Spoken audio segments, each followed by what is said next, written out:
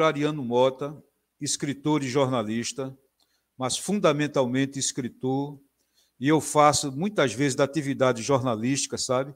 A divulgação do que eu penso, do que eu sou como escritor. A busca de soledade, a busca de companheiros de juventude me fez também um pesquisador da história. E eu faço da história a minha fonte, porque a minha memória, que são romances de memória sobre a ditadura, ela é substanciada na pesquisa histórica. Mas eu sou fundamentalmente escritor e não quero ser outra coisa.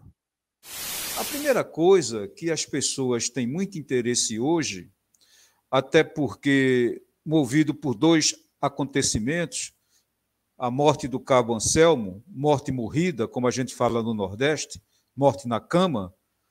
No Nordeste, as pessoas de, fazem a diferença entre morte morrida e morte matada. Não é? Então, a morte de Anselmo, morte de Anselmo, eh, a morte morrida, e depois entrou no ar, poucas semanas depois, ou uma ou duas semanas depois, a série Em Busca de Anselmo. E é natural que as novas gerações, e até mesmo quem não é da nova geração, sabe, é, não saiba exatamente quem é o Cabo Anselmo. É? Então, para as novas gerações e também para outras, é, é o seguinte: a primeira coisa é que o Cabo Anselmo não era cabo. É? ele era marinheiro de primeira, marinheiro de primeira divisão. Ou seja, na Marinha, os marinheiros, quando tem uma categoria de primeira, carregam duas, duas fitas no ombro, sabe? E aí o seguinte, não é bem no ombro, é no, no, no braço, à direita, entendeu? É no ombro mesmo. E aí o seguinte, a imprensa tomava aquele marinheiro de primeira como sendo cabo, porque no exército é assim: duas fitas significam cabo. Mas ele era marinheiro. Muito bem. Essa é a primeira coisa. A segunda coisa é que ele surge para a grande mídia, sabe? Para os jornais, para os rádios. Eu acho que já havia televisão na época também, em 64, entende? Já havia em 64. Em 1964, ele surge assim como o cara que se destaca na rebelião dos marinheiros, do levante dos marinheiros, em 64. E os jornais já diziam que ele era liderança dos marinheiros. Ele nunca foi liderança dos marinheiros. Eles eram uma espécie de porta-voz, o cara que aparecia dando discurso, que não era nem escrito por ele, mas ele aparecia porque era um cara alto, de boa aparência física, entende?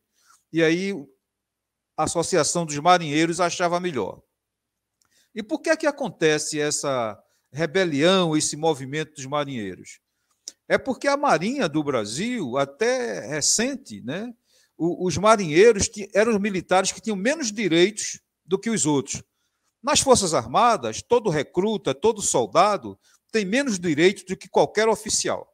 Né? No Exército até dizem que o soldado é superior ao tempo. Né? E a, os soldados muito inteligentes que respondem superior ao tempo, inferior à merda. Entende? Então, em qualquer força armada, os soldados têm menos direitos. Mas na Marinha era pior, porque eles não podiam casar, não podiam estudar, entendeu? E olha que eles já estavam no estágio avançado da história, porque antes, no começo do século XX, por qualquer fa por falhas que ele cometesse, eles eram chicoteados. Chicoteados como escravos. É aí que surge aquela grande revolta, sabe, do almirante negro, sabe, no, no, no governo de Floriano Peixoto, que aponta os canhões contra a cidade do Rio de Janeiro. Entende? Mas já em 64, acho que a questão era outra. Eles não eram mais chicoteados, eles não tinham direitos a praticamente nada. Quer dizer, tinham menos direitos que os demais praças das demais Forças Armadas. E aí, quando surge o Cabo Anselmo? Surge o Cabo Anselmo, há uma, há, há uma quebra da hierarquia militar, entende? E ele aparece como cara e depois acaba a chamada revolta, ele é preso. E poucos dias depois, como se não fosse nada, ele foge da prisão e vai viver em Cuba. Pois bem, Há historiadores que repõem que já na época, quando Cabo Anselmo estava liderando aquele movimento das Forças Armadas, da, da, da Marinha, ele já fosse infiltração, já fosse um agente duplo. E isso não é nenhuma coisa absurda, porque na Marinha, nas Forças Armadas, sempre existem aqueles soldados né, que são. Tem uma gíria militar para eles, chama de cafiado. Né? Ou seja, é o cara que é acobertado pelos oficiais, que tem privilégios por baixo do pano, entendeu? Que os demais não têm, sabe? E são os caras que fazem o papel do chamado X9, que entregam os outros à oficialidade, a quem está lá em cima. Então, há quem diga, inclusive um ex-delegado do DOPS do Rio de Janeiro disse que Cabo Anselmo já pertencia já fazia serviço para o DOPS do Rio de Janeiro, que era um cara ligado a, ao DOPS, não só ligado aos oficiais mais reacionários da Marinha, sabe? Almirantes, coisa e tal, ele já fazia o serviço dele. Essa é uma hipótese que os marinheiros que vieram de 64, que foram anistiados depois, mais adiante, negam com veemência. Mas por que eles negam com tamanha veemência? Pela simples razão de que isso joga uma espécie de desconfiança sobre o próprio movimento deles, por um lado. Por outro lado, esse vírus que trazia o Cabo Anselmo contaminou outros marinheiros, seguramente contaminou. Se fosse, ele não seria o único. E aí, não só o Cabo Anselmo, como outros da Associação dos Marinheiros ficariam sob suspeita, a mesma suspeita. E aí eles negam com veemência, entendeu? que isso não existia, que Cabo Anselmo se passou para o outro lado, muitos anos depois, quando ele foi preso por, por Fleury. Mas a farsa continua. O que eles querem proteger, existem depoimentos mostrando isso. Se o espírito não me engana, um dos depoimentos é de um historiador que fez, que lançou um livro sobre a era João Goulart, sobre a era Jango, entende? Acho que é o Muniz Bandeira, entende? E essa prisão dele por Fleury também é outra farsa. Porque é uma prisão que ocorre quando ele volta de Cuba e ele declarou que foi preso porque havia uma delegação cubana no Brasil, uma, uma, uma delegação, uma seleção cubana de basquete, e ele foi no hotel, ó que coincidência, ele vai no hotel onde está a seleção e manda para Fidel, entrega a um atleta uma lembrança para Fidel. Olha, nós estávamos na ditadura militar. Se ele faz isso, se ele dá essa bandeira, ele fornece um pretexto apenas. Entendeu? Militante mesmo não fazia uma merda dessa, entendeu? De procurar uma seleção que era vista, que já era observada, espionada, entendeu? Vai lá e diz para ela que isso aqui é para entregar a Fidel, como a lembrança dos tempos dele em Cuba. Então, é com esse pretexto, então, que ele é preso, entendeu? E aí ele falaria depois que foi torturado. O sujeito era tão safado, sabe, que mentia sobre a tortura. Ele nunca foi torturado. Quando se pedia a ele uma descrição da tortura, ele disse que foi posto num pau de arara, com as mãos assim, coisa e tal. Mas eu observei claramente que a descrição dele da tortura era uma descrição de quem viu a tortura, de quem via, não é a tortura de quem sofreu.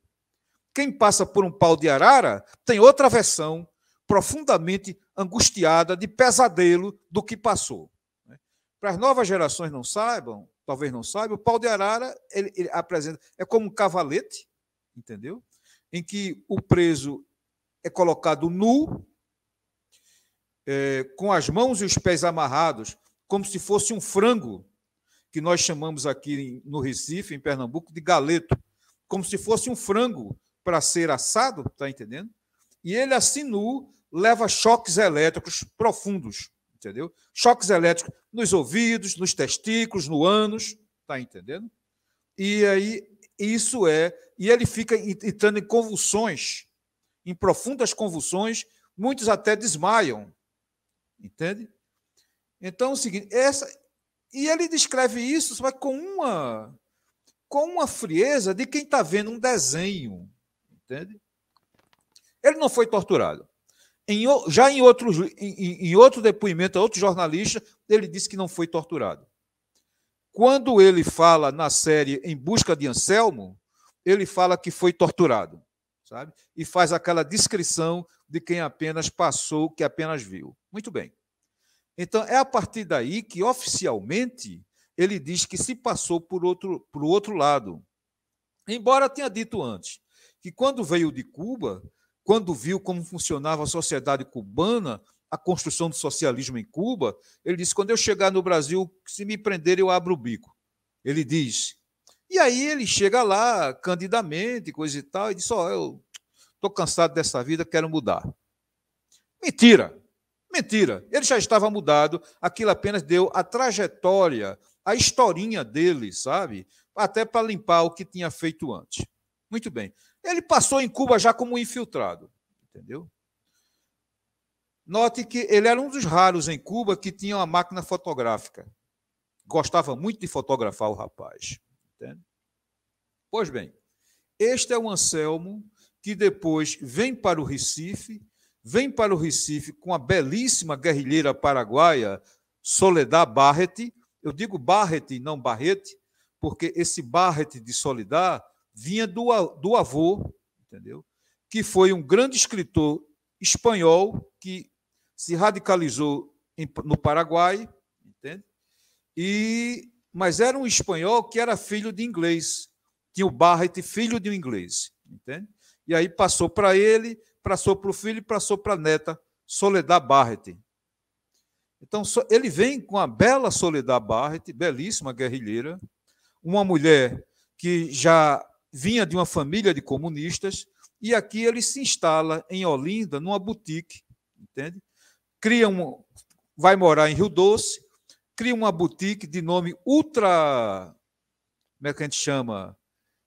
Ultra, para chamar a atenção demais, né? Dá o nome da boutique de Mafalda. Acreditem vocês. Em plena ditadura Médici, o cara dá bandeiroso, o nome, a palavra é bandeiroso. Ele dá um nome bandeiroso de Mafalda, ou Mafalda, entende? Olha só, a, a personagem de quadrinhos que era rebelde e subversiva. Ele dá o nome da boutique em Olinda, em plena ditadura militar, entendeu? E instala com Soledad e Pauline Pauline Rechistu, ele põe lá e ficava lá como artista que fazia tapetes, que se dedicava a tapetes, coisa e tal, fazendo contato com o mundo artístico, entendeu? E aí ele já está com outro elemento, Carlinhos Metralha está com ele, mas não se apresenta a ele. Carlinhos Metralha era uma pessoa, era um elemento que ele entrava em contato quando algum militante clandestino queria esquentar os documentos. Ou seja, mudar de identidade.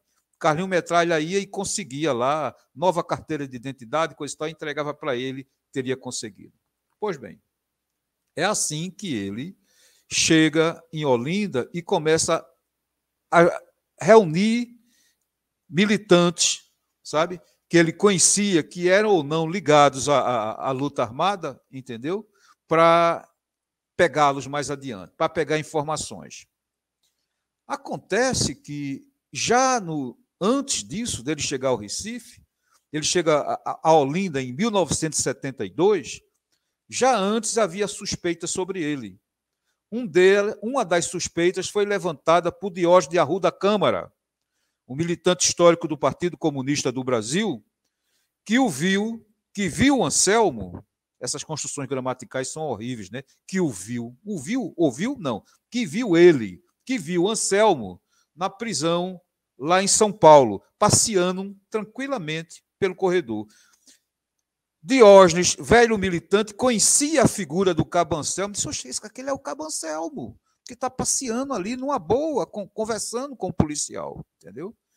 Então, quando Diógenes de Arruda Câmara é solto, vai para o Chile e diz lá, diante do, do, do, do, do, do, do sargento, né, do sargento, eu esqueço agora o nome, parece que é, salvo engano, é Honório, não, não é Honório, não é Honório, Osório também não é Osório, mais adiante eu lembro, entendeu? Um sargento que era também da VPR, entendeu? E diz que Anselmo era era era infiltração, era policial. E o cara, sabe, Onofre, era Onofre, fala para Onofre, que era ex-sargento do Exército, fica indignado com aquilo. E depois diz para os outros o seguinte: não, ele é um cara de outra organização e está querendo sujar Anselmo. Muito bem. Eu, quando fui pesquisar para escrever o livro Soledad no Recife, e comecei a ver as histórias de Onofre, eu me disse: esse cara era não somente companheiro, ele também era infiltração, para defender de tal maneira e acobertar as suspeitas e os crimes de Anselmo. Porque o que é que acontece? Numa organização, sabe, num partido, se surgem denúncias sobre infiltração e denúncias com provas que vinham de um homem digno, como Diógenes de Arruda Câmara, entendeu? Era obrigação de pô-lo em suspeito começar a investigar e não desacreditar a fonte. Desacreditou total. Eu disse: esse cara era infiltração. Eu me disse. O que é que acontece? Eu tinha essa intuição. Depois dizem que Onofre foi preso, foi preso e, e morto na fronteira com o Brasil, mais adiante. Eu disse: essa morte dele é de H. Foi a maneira que arranjaram para sumir, para ele sumir de circulação. Hoje, numa entrevista de Carlos Alberto Júnior para Breno Altman, sabe? No, no, no, no, grande site Opera Mundo, Opera Mundi, entendeu? Breno Altman diz uma coisa que eu fiquei impressionado. Foi o seguinte, só. Breno Altman disse, quando eu era mais eu trabalhei com Gregório Bezerra em Pernambuco, quando Gregório foi candidato a deputado federal. E Gregório me disse que, quando estava no Chile e botou os olhos em Onofre e viu Onofre começar a falar, Gregório Bezerra disse: Eu não tive nenhuma dúvida que aquele cara era uma infiltração. Olha só. Olha, nós temos cada vez mais que ouvir, sabe, a experiência e a intuição dos velhos comunistas, sabe? Eles conhecem. Gregório Bezerra conhecia muito bem quem era comunista e quem não era. Não precisava estar dizendo qualificações. Pela conversa, pelo papo, Gregório disse: Eu nunca tive dúvida, disse a Breno Altman. Isso está hoje. Disse, Breno Altman re, relata hoje. Disse a Gregório Bezerra, em 1982, disse a Breno Altman. Quando eu botei os olhos dele, ele começou a falar, eu soube que ele não era comunista. Ele era, um, ele era da repressão. Conheci de imediato. Entende? Então, essa minha intuição, quando eu vi o relato sobre Onofre, sabe, foi ratificada, digamos assim, pelo que Gregório Bezerra declarou a Breno Altman. Notem que nós estamos nos apoiando em depoimento de comunistas valorosos e militantes provados, que conheciam, sabe, como as pessoas agiam. Sobre Diógenes de Arruda Câmara, eu tenho mais uma dele. Eu tinha um, um, um, um amigo daqui da, da época da, da, da, militância no Recife, que quando Diógenes de Arruda Câmara veio dar uma palestra no jornal Movimento, não vou dizer o nome desse amigo, ou ex-amigo, esse ex-amigo chegou para Diógenes, começou a falar, falar, falar. Quando ele saiu, Diógenes voltou e falou para Luciano Siqueira, que dirigia o, o, o, o, escritório do jornal Movimento no Recife. Disse: Esse rapaz tem muito champignon, tem muita maionese, sabe? É. Sabe o que aconteceu com esse rapaz? Depois saiu do partido e saiu falando mal e se aliou à direita e à extrema-direita no Recife. Entende? Esse era o rapaz que Diógenes, muito antes dele sair, Diógenes já disse: esse rapaz tem muito, tem muito, muito papo, muito champignon, é muita maionese, é muita coisa. Entende? Pois bem, sobre Cabo Anselmo no Recife, antes do golpe dele, que ele deu aqui nos, nos companheiros, ele já vinha assassinando várias pessoas. Ele diz cinicamente que nunca matou ninguém. Na série ele diz: Eu nunca matei, tentei uma vez matar uma galinha e deu errado. Ele apenas entregava para Fleury, para Fleury matar, entendeu? Ele era a ponta de lança que chegava lá com o veneno, captava e dizia: É esse, vai lá que é esse, vai que é esse, vai que é esse. Pois bem, Cabo Anselmo visitava a casa de um militante, de um militante aqui de Pernambuco, em Jaboatão, que era filho de um velho comunista. Para você ter ideia, era um costume dos velhos comunistas de Pernambuco, para quem não sabe. Punha nos filhos os nomes dos revolucionários, entendeu? Então, um filho se chamava Marx, Carlos Marx, o outro era Lenin e a mulher era Olga. Acreditem, sabe? Marx, depois na fase da ditadura, ele, por causa da repressão, ele fazia se confundir por Marcos e as pessoas procuravam Marquinhos. Mas era Marx. Da certidão do nascimento, ele era Marx, Carlos Marx, entendeu? E o outro era Lenin. Pois bem, ele uma vez foi na casa de Marx, lá em Jaboatão, e começou a conversar, conversar, conversar. Quando ele saiu, o pai de Marx chegou para Marx e disse: Cuidado com esse cara, viu? Esse cara não é, não é, não é guerrilheiro, não é, não, não, não é de esquerda não. Cuidado com ele, viu? Ele conversa muito, fala demais. Ou seja, era também um velho comunista. Os velhos comunistas não engoliam a história dele, entendeu? Não, não engoliam. Mas os jovens, os jovens não têm a experiência e o que é pior, além de não ter a experiência, não houve a fala, não houve a fala dos velhos entende? dos velhos comunistas, entende? Isso eu lembro agora uma fala antológica, uma das falas antológicas de Mark Twain, o grande escritor e humorista norte-americano. Mark Twain dizia: "Quando eu era jovem, quando eu era jovem, meu pai era um perfeito idiota. Mas agora que eu envelheci, que figura genial era meu pai, que homem de gênio. Entende? Quer dizer, não houve a experiência, os jovens são arrebatados, são irrefletidos. Faz parte da idade, faz parte da idade, entendeu? Tem aqueles arrebatamentos, sabe? Inexperientes que agem somente pelo coração. Já os velhos aprendem a agir pelo coração, mas sob a experiência da razão e da mente. Entende? Da experiência. O jovem que não tem essa experiência e não ouve a experiência dos mais velhos, está fadado a cometer grandes erros. Bom, esse era o Cabo Anselmo. Soledad Barrett, como é que eu cheguei, por exemplo, a Soledad Barrett e ao Cabo Anselmo? Em 1973, no começo de janeiro, eu era funcionário da CELP, e quando eu vou subindo a ponte de ferro, a ponte da Boa Vista, estava lá, tinha uma banca de revista que ficava na subida da ponte, que ligava a rua a, a Rua do Sol, a, a, rua da, a Rua da Imperatriz, entende? e eu vi no jornal a manchete: seis terroristas mortos trocando tiros com a polícia.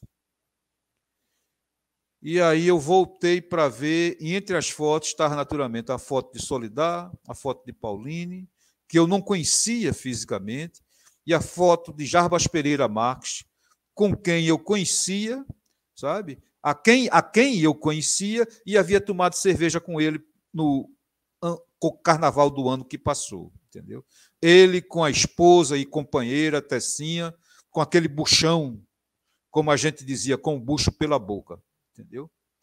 Então, é o seguinte, quando eu vou subindo e vejo aquilo, sabe? Aí eu, sinceramente, eu digo a vocês, eu parei na ponte tão chocado sabe? Que comecei a vomitar. Entendeu? Comecei a vomitar em estado de choque profundo. E o que é pior é que eu tinha que seguir para o trabalho.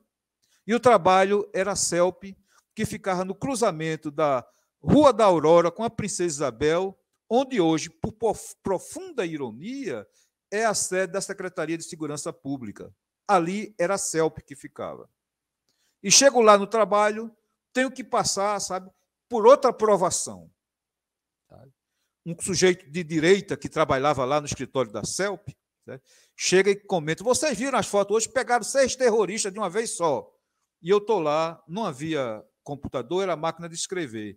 E eu estou batendo a máquina no departamento de material, de guias de materiais, batendo a máquina. E aí o que é que acontece? Ele devia desconfiar algo de mim, sabe? E aí chega para mim e diz: Você viu o jornal hoje? Eu disse: não, não vi jornal, não, coisa e tal. Não viu, não? Está aqui. Aí abre o jornal, praticamente enfia na minha cara, sabe? As fotos dos seis bravos militantes assassinados. Entende? E aí, viu agora? Olha, aí aponta para a Solidade. A putinha era até bonitinha. É um negócio. Eu fiquei, sabe?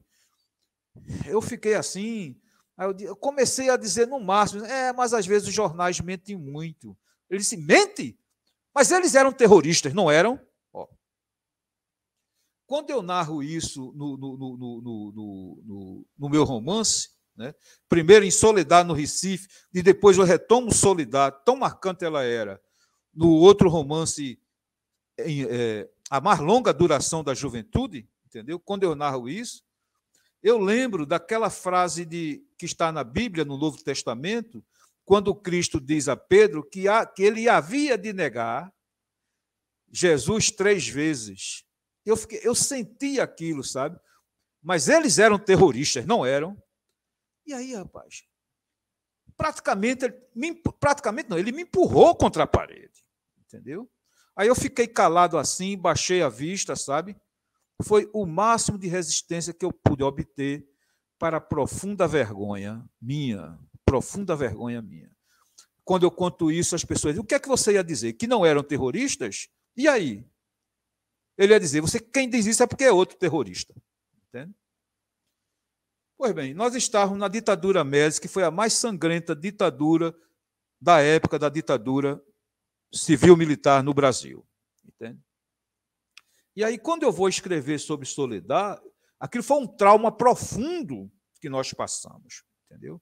Eu estudava direito, abandonei o curso de direito, porque eu fazia, era ligado ao pessoal da Ação Popular, e lá eu fazia movimento estudantil com outro companheiro, que era também da, da, de Ação Popular, e, é, e foi um dos procurados pelo Cabo Anselmo para ser assassinado, entendeu? O Alfredo Lopes. Então, o que, é que acontece? Eu abandono o curso de Direito. Eu abandono o curso de Direito, trauma, e aí, quando eu volto a escrever sobre Soledad, entende? E aí eu começo a pesquisar, e aí eu vejo a história belíssima de Soledad, que ela era uma pessoa bonita, não só do porte físico, como por ações, por atos, entendeu? E começo a pesquisar e entro a pesquisar também sobre o Cabo Anselmo e eu começo a pesquisar sobre o Cabo Anselmo, detenho, e aí eu escrevo Solidar no Recife. Olha, o que é que acontece com Solidar no Recife? Eu vi que a melhor maneira que eu tinha de narrar Solidar era me pôr, era o narrador ser o amante, o amante, o, o, o amante, não é o amante utópico, o amante platônico de Soledad. Narrar o livro na primeira pessoa. E de tal maneira isso foi feito que a própria Boitempo, através do seu, do seu leitor, que era Flávio Wolff, Flávio Wolff Aguiar, entendeu? Achou de que eu era realmente, havia sido namorado de Soledad, pela maneira como eu pus. E aí, qual foi o truque? Não tem truque, sabe? Escritor não tem truque. O que ele tem, quem tem truque é façante, é vigarista, entendeu? Não tem truque. Foi o seguinte: eu comecei a pesquisar e para escrever sobre o amor que Soledad detinha sobre o narrador, eu falei sobre o amor que eu tive sobre muitas militantes que eu não podia amar, porque já tinha um companheiro. E era um ponto de honra, sabe? Um militante era um negócio meio cristão, inclusive, sabe, rapaz? Era de um jeito que o militante não podia nem dizer para si mesmo que amava a companheira de um companheiro, sabe? Parecia um negócio cristão, aquele negócio, não, não, não amarás, não desejarás a mulher do próximo, entendeu? E, no entanto, o amor prosperava, mesmo assim, debaixo de toda a repressão. Se existe uma coisa que não admite ferros, é o coração. Ele sobrevive debaixo de ferros, entendeu? Então, eu comecei a pôr na figura de Soledad, no narrador, aquilo que a minha experiência detinha sobre as pessoas, sobre as mulheres militantes dignas, heróicas, valorosas que eu vi no Recife. Entende? Foi isso, e assim eu coloquei. E, e sobre o Cabo Anselmo, eu fui pesquisar também. e pesquisei de tal maneira, eu tenho que dizer o nome dela, que é muito importante. A tradutora, quem traduziu Soledad no Recife para o espanhol, foi Ângela Thelma Lucena, que passou a infância e o começo da adolescência em Cuba. Entende? E lá conheceu o Cabo Anselmo, entendeu? E ela me disse, no momento em que estava traduzindo o livro, palavras dela textuais. Nossa, é assustadora a descrição. Eu conheci o Cabo Anselmo e tem tudo a ver com ele, assim como as, as orelhas de Muciélago, as orelhas de morcego que eu ponho na descrição dele. E na descrição dele eu colocava em um trecho curto dizia o seguinte: há uma superfície batida sem traços de gente, de qualquer gente, e de tal maneira que ao se relacionar com a região da testa, faz os olhos do, do, de índio, que Anselmo tinha os olhos oblíquos, faz os olhos de índio se tornarem fendas, meras aberturas no papel machê, por onde Anselmo nos vê pelos buracos rasgados da máscara Daniel. E isso era porque o Cabo Anselmo, ele se mostrava, ele se apresentava em Pernambuco como Daniel era um dos nomes dele era Daniel, entendeu? Só depois é que ele, depois dos assassinatos, é que nós viemos a saber através de uma foto minúscula que se distribuía em monóculo, entendeu? Uma foto que tiraram de Anselmo no dia do aniversário de Solidar, nas vésperas da morte dela, tiraram uma foto de Anselmo, foi que eu pude ver. Então, eu fiz a descrição de Anselmo, a descrição física, olhando aquela foto das vésperas do assassinato de Soledad. É essa. Então, qual é o segredo, digamos assim? É o de Soledad no Recife, é um livro em que se misturam de maneira indissolúvel, como aquele casamento que não pôde ser, indissolúvel, a pesquisa histórica com a narração literária. Então é o seguinte, eu não queria fazer algo inverossímil, que tivesse inverossimilhança. Eu teria que falar exatamente em cima da pesquisa. É a coisa que não tem a, maioria das séries que você vê na Netflix. Eles desviam a atenção da gente da falta de verossimilhança pela violência, pela carga de violência. Isso mantém você desviado da atenção. Os personagens não têm a verossimilhança. Então, eu, eu tinha os modelos, eu tinha a história, eu tinha a pesquisa, e foi assim que eu narrei com absoluta liberdade de pensamento, sabe? Soledad no Recife. E ela é tão marcante que volta como personagem com o seu nome real, assim como Cabo Anselmo volta com seu nome real no mais recente romance A Mais Longa Duração da Juventude. E aí, se houver mais tempo, eu quero dizer o seguinte, que quando eu vi a série Em Busca de Anselmo, eu pude ver o Anselmo falando longamente principalmente nos dois últimos capítulos, nos dois últimos episódios, sendo questionado diante de documentos a mentira dele, as mentiras dele, entendeu? Então, as mentiras do Cabo Anselmo eu fiquei vendo assim de maneira clara. Até então não tinha, porque o Cabo Anselmo havia sido entrevistado por jornalistas que não faziam o seu dever de casa. O que é o jornalista fazer o seu dever de casa? Ele tem que pesquisar a pessoa, tem que pesquisar antes a história da pessoa, mas não faziam. Ou porque não faziam o dever de casa, ou porque estavam comprometidos, sabe, com teses antes de, contra a esquerda. Entende? Então, o que Cabo Anselmo falasse era verdade. Então, o que é que acontece? Cabo Anselmo é posto diante de fatos, sabe? Ele, ele mente de uma maneira desaforada, descarada, entendeu? Cínica total. Então, a série tem isso. E a série traz o quê? O depoimento ao vivo recuperou, o Carlos Alberto Júnior recuperou o depoimento da advogada Messi Albuquerque na Secretaria de Justiça de Pernambuco. Olha, quando eu vi aquilo, eu pulei da cadeira, sabe? Eu pulei da cadeira e comecei a gritar na sala. Linda, linda, linda, sabe?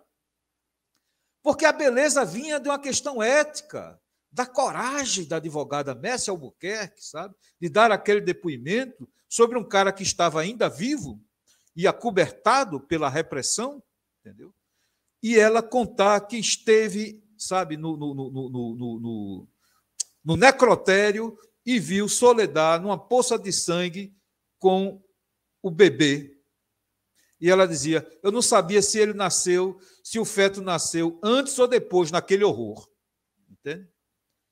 E aí vem Cabo Anselmo e disse que Soledad não estava grávida, de que quem estaria grávida era Pauline. Ele é assim, ele era assim, sabe? Cínico e acanalhado, entendeu? E aí o seguinte, cínico e acanalhado. E aí o que é que acontece? Eu sabia disso e fui voltei à pesquisa para escrever, voltei à pesquisa também no, no, no romance A Mais Longa Duração da Juventude, entendeu? E aí o que é que acontece? ocorre que há um depoimento, sabe, da filha de Jarbas Pereira, sabe? De Jarbas Pereira Albuquerque, sabe? Em que ela diz o seguinte: é para só. Ela diz, é na 10 da Albuquerque, que hoje é pesquisadora de direitos humanos nos Estados Unidos. Então, falo, na 10 da me disse, no carnaval de 2018, em Olinda. Abre aspas para o depoimento dela. A minha avó Rosália, mãe de Jarbas Albuquerque, conseguiu entrar no necrotério com Messia. Dona Rosália, entre os vários trabalhos que tinha, era também enfermeira. Ela conhecia a pessoa de Soledad. Minha avó sempre contava o que viu no fatídico janeiro de 1973. Entendeu? Meu pai, com marcas de tortura pelo corpo, tinha marcas de estrangulamento no pescoço e água nos pulmões, compatíveis com o resultado da tortura por afogamento. Os tiros no peito e na cabeça foram dados após sua morte. E isto. O corpo de Soledad, ensanguentado ainda, tinha restos de placenta e um feto dentro de um balde improvisado. Isso é o depoimento, sabe, da mãe de Jarbas Pereira, que entrou no necrotério, que conhecia Soledad e viu, e confirmo as palavras de Messi Albuquerque. Então, meus amigos, não é uma hipótese que Soledad estivesse grávida.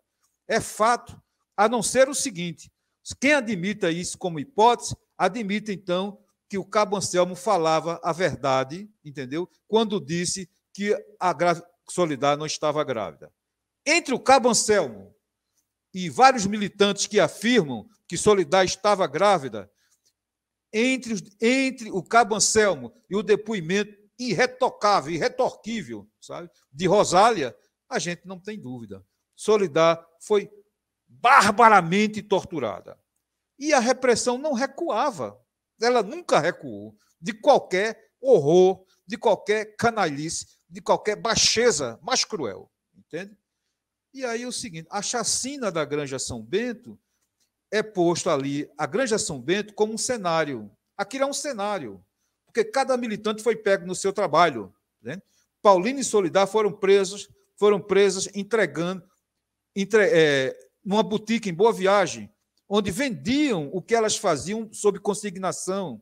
Jabas Pereira foi arrancado do trabalho, numa livraria, entendeu?